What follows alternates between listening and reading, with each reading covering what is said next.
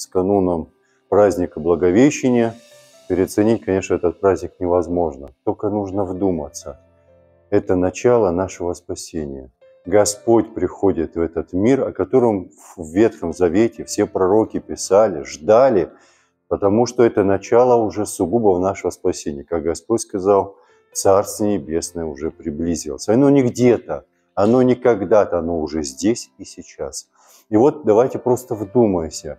Маленькая девочка, лет 14, ну максимум 15, находится при храме, учится священному писанию, рукоделию.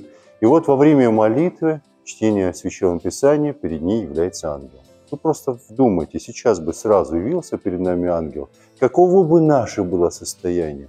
Но мы читаем в Священном что она э, смутилась, то есть немножечко испугалась, на что он говорит, не бойся, благословена ты в женах и благословен плод чрева твоего.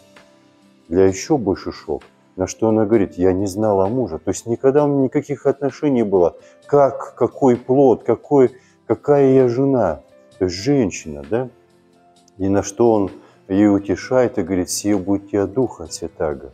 То есть мы понимаем, что сейчас в нее вместится невместимое. И потом Господь пребывает где хочет и придет в этот мир Бога человечество. Он не просто человек, он не просто Бог, он Бога-человек, совершенный человек, совершенный Бог. В нем сочетаются две воли и две природы, которые друг друга не поглощают, а свободны. Этой же волю и этой же спасением своим он придет чтобы пойти потом после проповеди, после э, многих чудес, исцеления, воскрешения, пойдет потом уже добровольно на крест и уже светлое воскресенье Пасху мы встречаем, потому что э, Благовещение, как вы знаете, вот сейчас, Дни Великого Поста происходит.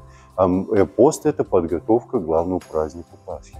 Сейчас мы говорим о Благовещении. Благая весть о чем? О начале нашего спасения. И, как вы помните, Архангел говорил, который явился Божьей Матери, также ей и преподнес любимые лилии честь чистоты ее. Но все остальное, конечно, нужно и почитать, чтобы не только просто послушать. Я поздравляю вас, желаю вам доброго здравия души и тела. Храни вас, милосердный Господь и Царица